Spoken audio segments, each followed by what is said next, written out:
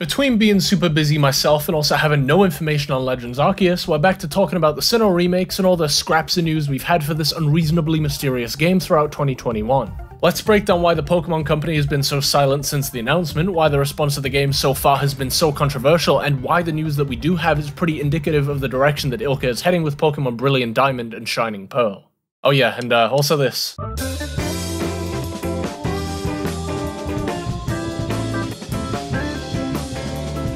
Get why we know next to nothing about these games that they announced way back in February, it's better to run through all the stuff we do have first and foremost. Looking at the official website, they're faithful reproductions of the original Diamond and Pearl story, meaning most of, if not all of the story elements from Pokemon Platinum aren't going to be present. Then goes on to say while newer players are going to have a lot of surprising moments, the people that played it when they were kids should expect familiar scenes. Nintendo's official website doubles down by saying that the Pokemon present are the ones from the original Diamond and Pearl games, meaning that we've got 493 to pick from with the expanded regional dex from Platinum seeming pretty unlikely. Some people took the headphones out during this part of my last video, so I guess it's worth expanding on. But a Porygon Z in the trailer doesn't mean anything when we know for a fact that Pokemon prototypes are filled with debug menus to instantly give you any Pokemon you want. They don't like record some guy at the office playing through the game with his team of Pokemon for trailer footage or whatever. But if we're to be real outside of a pretty nebulous conveniences of the modern Pokemon series, we've got no idea what BDSP is going to add that the originals didn't already have. And I guess part of that is likely due to the guys that they've got making it. For the first time in the series' history, we don't have Game Freak working on a mainline game, instead being a CG design company known as ILCA. Whilst all their previous work has been made up of games that they've been outsourced to provide assets to, the Sinnoh remakes are their first full games that they've ever made on their own with the only other involvement being Junichi Masuda as the game's co-director and Shota Kageyama on the game's remixed music. Likely a recommendation from Masuda after what happened with Let's Go. To better clarify, the job of a main director for a game is typically one that involves pulling the team together, allocating staff, and making sweeping changes that affect the whole project. You'd be forgiven for not knowing what Yuichi Ueda's last game was as a director because, uh, oh yeah, wow. But what's weird about this whole collaboration is that ILCA don't seem to be particularly aware that they're working on Brilliant Diamond and Shining Pearl at all. At the time of this video, not once have the Sinnoh remakes ever been mentioned on either of their still pretty active official social media platforms, not even around the time of the game's announcement. They don't even follow any Pokemon related accounts and likewise aren't followed by anything Pokemon related either, not even Masuda. Feels kinda weird when he's the one co-directing the whole thing and only knows Ueda personally. After seeing literally everything this company has put out whilst researching for this video, it's clear that they're pretty small and all about helping out with bigger productions. Combined with Masuda's lack of public interaction with the team behind these remakes, and it's a wonder why they're behind these, all things considered, pretty important games in the first place. Even on their dedicated ILCA app website for the games that they develop, it's completely bare of anything Pokemon related. With the last main remakes and Omega Ruby and Alpha Sapphire having several trailers and consistent announcements of new forms and characters every three or so weeks until its release. And Let's Go had Masuda doing interviews with much of the dev team that was, at the time, the youngest staff to ever work on Pokemon. Despite having what seems to be a noticeable increase in production value with the gameplay seen in the Switch OLED trailer, yes, I'm gonna talk about it, the western side of the brand doesn't even seem to be aware of how the game is progressing. You got Nintendo's Twitter and the eShop using outdated screenshots that directly contradict the marketing in your own console trailer that came out weeks before. It could be very possible that the footage used there was just some sort of CG mock-up for the Switch trailer given what ILCA seems to be very good at, but please, I don't want to even imagine the fallout if that turns out to be true. I don't think that's going to be the case, but it would explain why Nintendo is just fine with actively making the game look outdated whenever they feel like posting about it. I suppose the big question is, well, what happened? The main logical conclusion that I can jump to is that there's a distinct lack of discussion internally when it comes to how these games are supposed to be developed and marketed. The company making them doesn't acknowledge them, the company publishing them has no idea what the games are supposed to look like, the company promoting them completely forgot that they existed, and the person that directed the original hasn't shown any public involvement or done interviews with the current team like he has with pretty much every single game in recent memory. Online, you'd think they're not struggling with development because despite COVID, everything seems business as usual. It was about May of this year being the first time where they had to fully go online, and not once did they ever stop touring universities or hiring new people. And the company continues to proudly post about its most recent non-Sinnoh games that they've played a part in. And most astoundingly, the recent June update for Pokemon Home. This is probably the most important one of all because it shows that they're not like banned from talking about Pokemon or anything. I actually kind of feel pretty bad for them.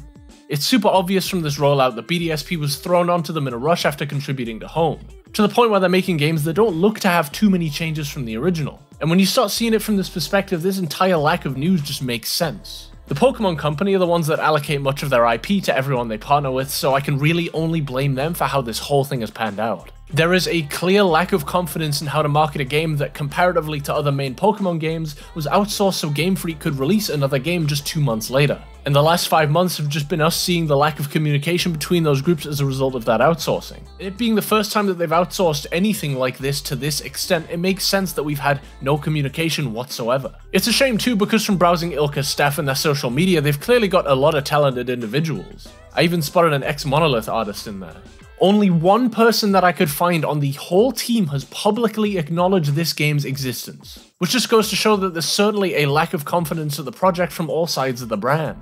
It's a confusing whirlwind of blatant miscommunication that nobody really feels comfortable addressing, and I can only hope that this video becomes outdated at some point in the future. Whilst I obviously don't expect them to be posting development spoilers, the silence of the team on social media is pretty deafening. And not at all like Game Freak staff that have typically been pretty vocal about their workdays on social media plenty of times before. The only other alternative is that they quite literally have nothing to show for what makes these remakes unique. I also don't think I need to explain why not showing anything on a game people have been pretty controversial for for like 5 months is a pretty bad move. And as I spent a whole video outlining last time, that's maybe just the worst possible outcome of all.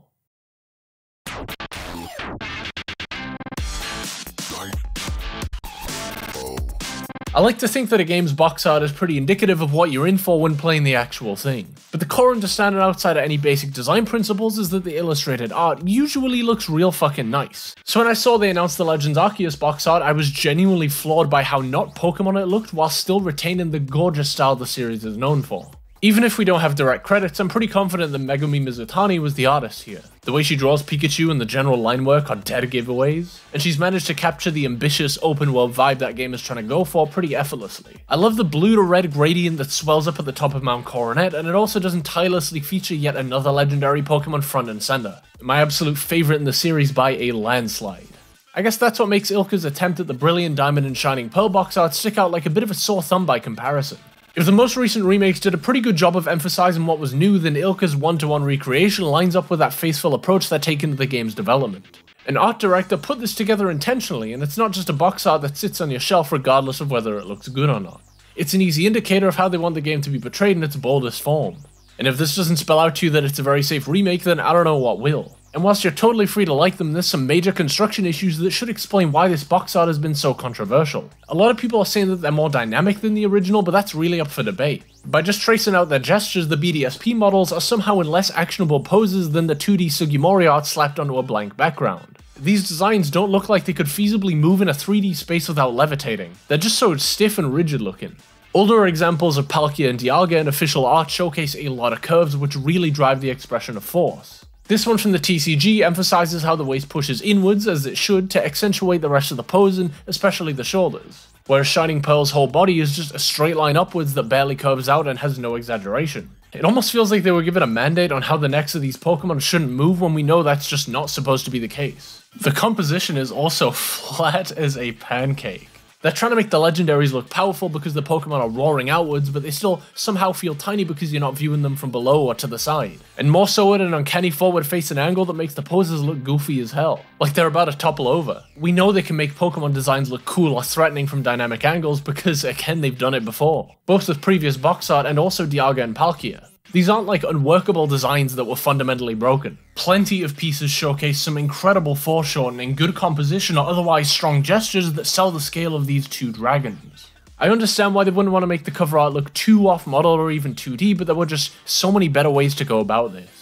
Stylistically, the way these models are rendered are also completely at odds with how the Pokemon look in the games, in the official art, and uh, also in the games. Wow. See how you guys kind of boned yourselves there, huh? Like I said last time, these games have a big problem with visual consistency that stopped being the case with Pokemon as the series progressed. Having the same design look like it came from four different art styles in one game feels like such a fundamental misunderstanding of why this was necessary back on the DS. It's also just not an honest representation of what the game looks like at all. Anyway, besides Dialga's foot turning purple because of how they just cropped the key art instead of making two separate renders, or the fact that Palkia's wings are barely visible, the covers for BDSP have a lot of weird inconsistencies that got people talking. I want to make it very clear that a lot of these are very minor nitpicks and the original wasn't like this work of art outside of Sugimori's contributions, but I thought that we were already aware that 3D just ages far worse than 2D over time when it comes to video games. Don't worry, I don't think it's going to be like Tekken 1 levels of bad in a few years, but I don't think time is going to be kind to it all the same especially when Legends Arceus seems to already have it beat. One thing you guys probably have been waiting to hear me talk about at length are the new visuals from the OLED Switch trailer, and on that I have to say, uh, not very much I guess.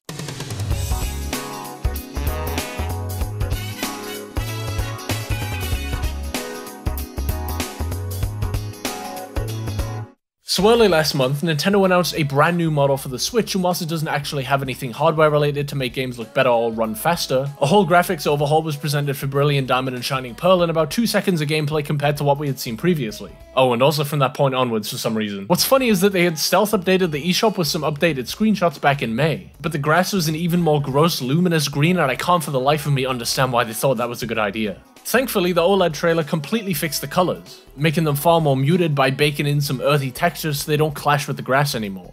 All of the rock and tree textures had also been redrawn to match the softer art direction as a result, and plenty of the background assets have also been shifted about. We saw a very similar thing happen with Let's Go, which according to the publicly released prototypes were changes made super late on in development, so this should be a good indicator of where this game actually is in terms of its cycle. If there's anything to take away from this video, the game is probably mostly complete minus the post-game and debugging at around June. What's more is that they've completely overhauled the battle intro, so it's not a one-to-one -one of what we got in Diamond and Pearl. Lucas's model is far more detailed than it was previously, and even though I'm still not a fan of how it's constructed, the changes make a world of difference. He also actually rotates in on an axis now, which does wonders for making each encounter have a little bit of depth that it was sorely lacking. No blank blue screen encounter ripped right from Diamond and Pearl was something that I mentioned in my previous video, and uh, yeah, they fixed that. This went unheard in the last video, and it'll probably get ignored again this time around, but I really don't hate these games, just a little disappointed with the approach they seem to be going. Changes like this, though, do mean a lot, and really shows that ILCA are looking at feedback to try and improve the remakes. But what I do find pretty unfortunate is that many of my core issues that I've outlined previously still have yet to be fixed, even if the game does look leagues better in other aspects. In fact, seeing the UI be a really out of place one to one of the original text box just fills me with dread because no other remake has done this previously, and is again pretty indicative of what they're going for with this game.